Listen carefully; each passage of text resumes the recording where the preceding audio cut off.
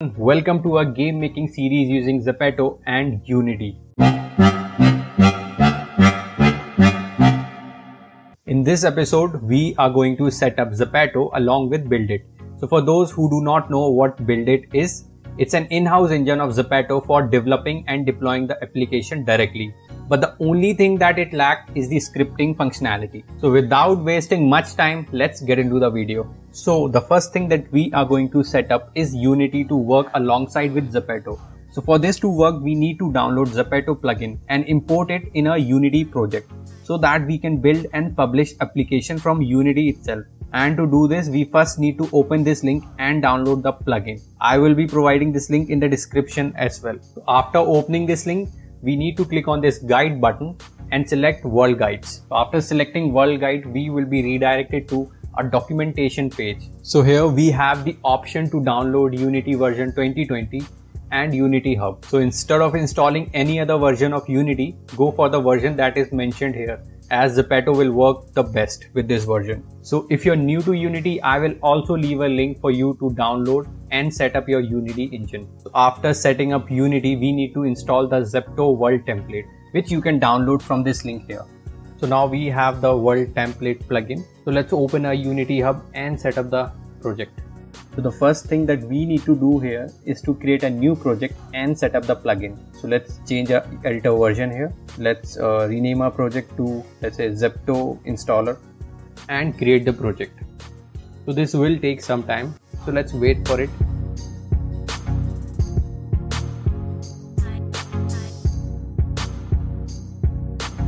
so it's done so it's time to import our plugin just create an asset import and custom plugin simply locate your plugin open it and click import.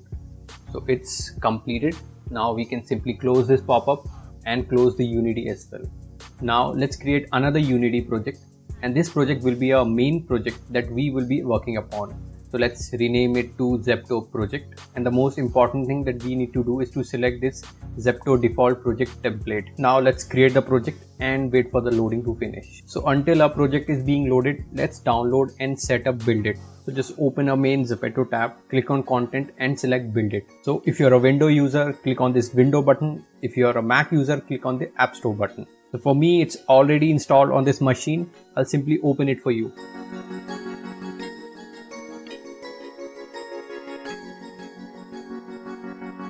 Now you have multiple options to log in. You can simply use phone number and password or you can log in using QR. So this is what you're to see after the login. You have an option to create a new world or you can see your already published world. So now let's leave build it for our next episode and focus on testing our default world in Unity. So our project is ready, but there's a little issue in here. The version that I have used is 2021, but we need to use the same version for which we have installed the plugin. So let's quickly change the version.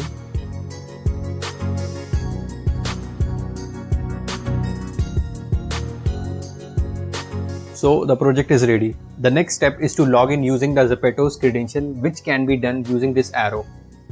The final step is to open this sample scene and test it out. Now click on this Z button to test out this project on your mobile. Scan this code from your mobile camera to test it out. If you're not able to run the project on your mobile devices, then try turning off your firewall. So this is it for the video. I hope you loved it. If you like the video, press the like button. If you have any questions, do drop a comment below.